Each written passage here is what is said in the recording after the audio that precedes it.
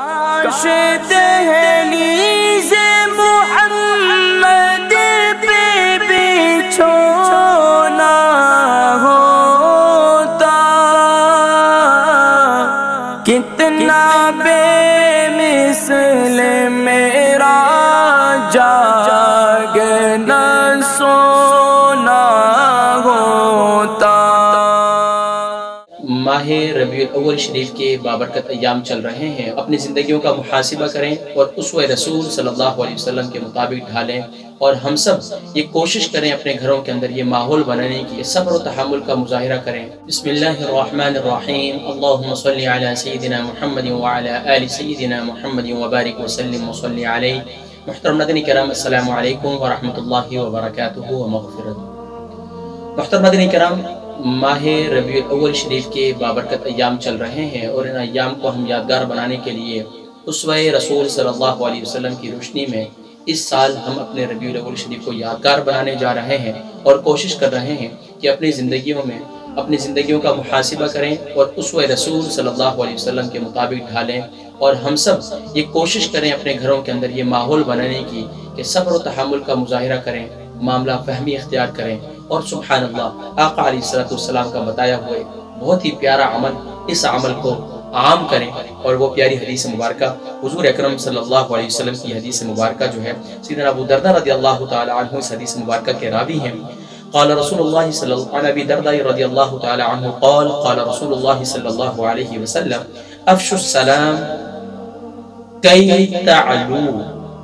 और एक और हदीस मुबारक है अब्दुल्लाह इब्न मसऊद रज़ी अल्लाहु तआला अन्हु अन नबी सल्लल्लाहु अलैहि वसल्लम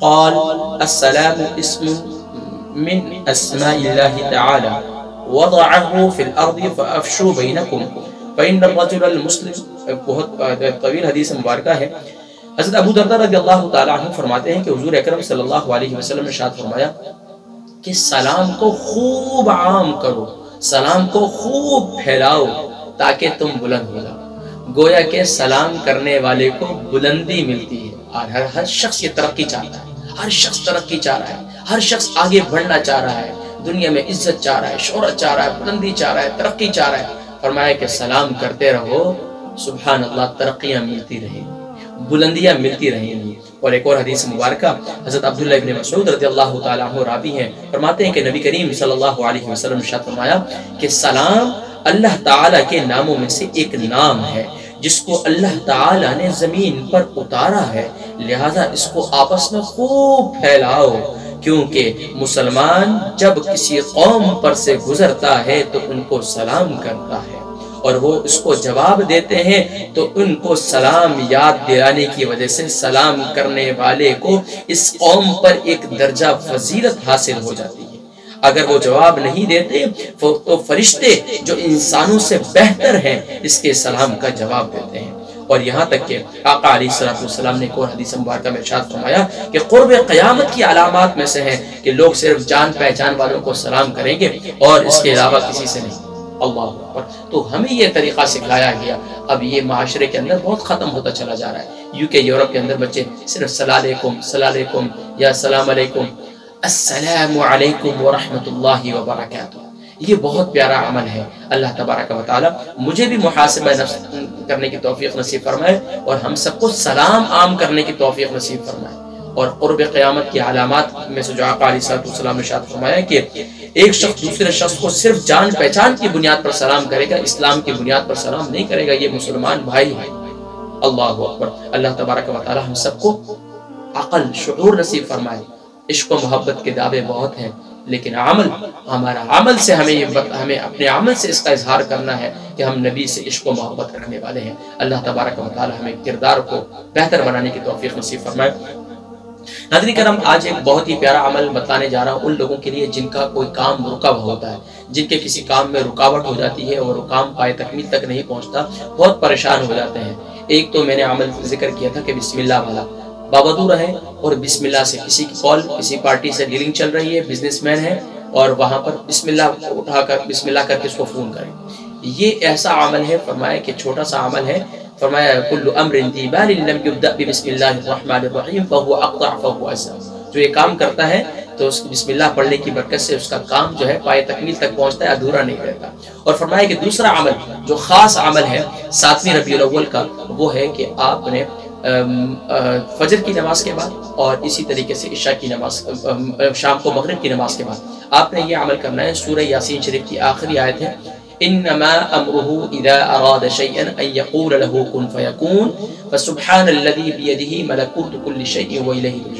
लेकिन आपने यही पढ़नी बस यहाँ तक। तो सूर्य अम्बिया की आयत नंबर गालिबन 80 सूर्य सूर्य यासीन की आयत नंबर 82 है। सूर्य अम्बिया सॉरी सूर्य यासीन की आयत नंबर 82 है। और ये आया मुबारक जो है, आपने पारा 23 के अंदर है सूर्य यासीन शरीफ। इन्नमा अमरुहु इदा अराद कुन फयकून। तो ये पढ़ना है, इंशाअल्लाह अल्लाह तबारक व तआला जो है कुन फयकून, जो कहता है हो जाता हो जाता सुभान अल्लाह। कायनात उसमें। सुबहान अल्लाह फिर मैं किसी मौके पर इस पर मुझे तफसीर के अंदर मुझे याद आई जहन में, लेकिन अब तफसील करने का वक्त नहीं है। सिर्फ़ इतना बताना है कि आपने इसकी तादाद क्या है। सुबह के वक़्त में आपने इसकी तादाद जो है, वो 133 बार है। सुबह के वक़्त में 133 बार, ज़्यादा से ज़्यादा। कम से कम इसकी तादाद जो है, वो 71 टाइम है। कम से कम इसकी तादाद 71 टाइम है। इसको पढ़ें, पाबंदी के साथ, और फिर इसके बाद, ये जब आप आमिल हो जाएँगे इस अमल के तो फिर आप जब भी कोई काम शुरू करें तो उससे पहले इन एक दफ़ा पढ़ लें। सुबहान अल्लाह वो काम जो है इंशाल्लाह पाए तकमील तक पहुँच जाएगा। अल्लाह तक इसी तरह शाम को भी ये अमल आपने करना है। सुबह के वक्त में एक सौ तैंतीस बार, कोई नहीं पढ़ सके तो सेवेंटी वन टाइम, और शाम के वक्त में भी इस तरीके से करना है।